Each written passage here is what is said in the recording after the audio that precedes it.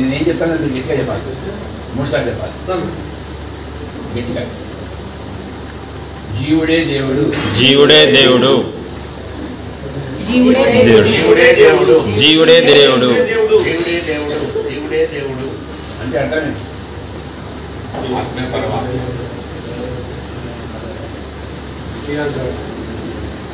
మనలోని చైతన్య శక్తి దేవుడు.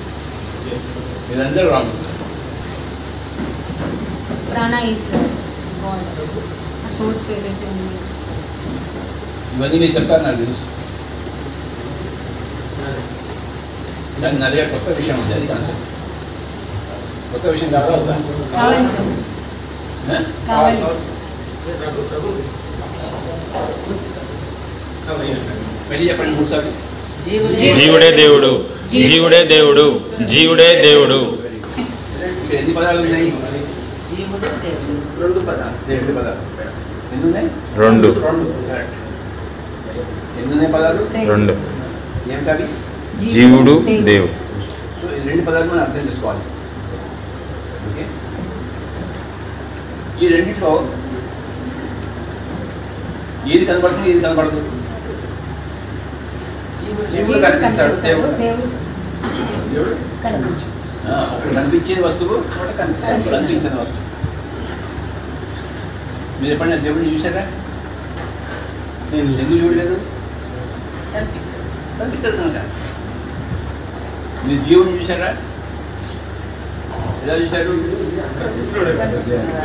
కరెక్ట్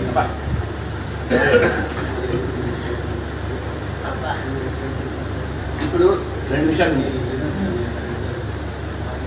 జీవుడు దేవుడు కనిపించేది. కనిపించండి రెండు పదాలు. నెక్స్ట్ లెవెల్కి వెళ్ళాము కనిపించేదాన్ని జీవుడు అన్నాం కనిపించిన దాన్ని దేవుడు అన్నాం. అర్థమైందా? దేవుడు ఎక్కడ? దేవుడు ఎక్కడ అంటే కనిపించదు ఓకే? కనిపించే వస్తువు పేరే దేవుడు. కనిపించే వస్తువు పేరే జీవుడు. నెక్స్ట్ ఇంకో లెవెల్ ఒక ఇరవై సంవత్సరాల తర్వాత మీరు ఎలా ఉంటారు చెప్పండి? తర్వాత.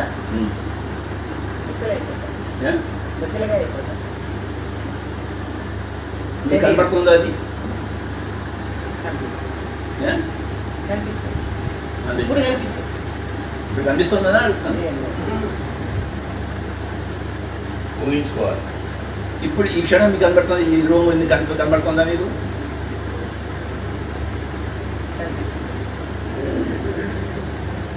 ఇరవై సంవత్సరాల తర్వాత? కనిపిస్తుంది అంటే ఇక్కడ ఉంటే కనిపిస్తుంది. ఇప్పుడు మీకు కనిపిస్తుందా అది ఆ స్థితి? కనిపించదు. కనిపించదు. అంటే ఇప్పుడు ఇంకో రెండు పదాలు. ఫస్ట్ రెండు పదాలు ఏంటి? జీవుడు దేవుడు. తర్వాత రెండు పదాలు ఏమొచ్చే మనకి? ఒకటి కనిపిస్తుంది కనిపిస్తుంది. కనబడదు ఇప్పుడు మూడో లెవెల్ మన ఏంటంటే వర్తమానము భవిష్యత్తు భవిష్యత్తు కనబడుతుందా? వర్తమానం? కనబడదు వర్తమానమే జీవుడు భవిష్యత్తే దేవుడు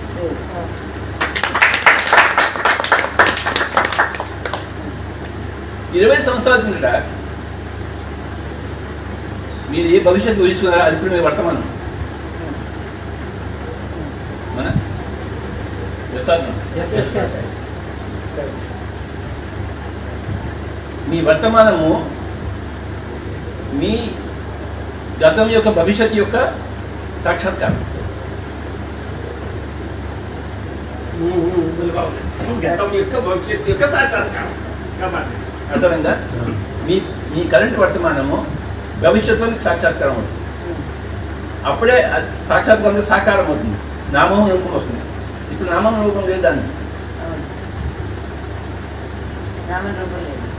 కానీ అది వర్తమానం వచ్చినప్పుడు అప్పుడు నామరూపం వస్తుంది. అంటే సాక్షాత్కారం అవుతుంది. అంటే కనపడిందంతా కూడా కనపడేది అవుతుంది. కనపడిన దేవుడే జీవుడు. జీవుడే దేవుడు.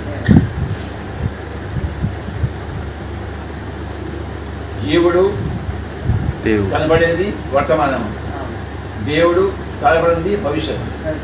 అందరికీ భవిష్యత్తు ఉందా? లేదా? ఉంది. ఒక్కడైనా భవిష్యత్తు లేనివాడు ఉన్నాడా ఉన్నాడు లేడు. ఆ? లేడు.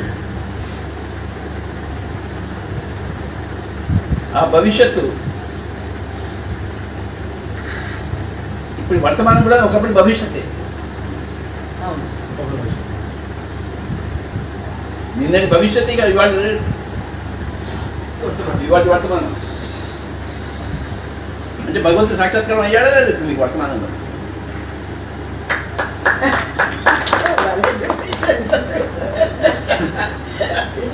Yes, ఈయనే. Yes, ఈయనే. ఇంకా భగవంతుడు కావాలంటే అది నాకు అర్థం కాదు ఆ, ఇదే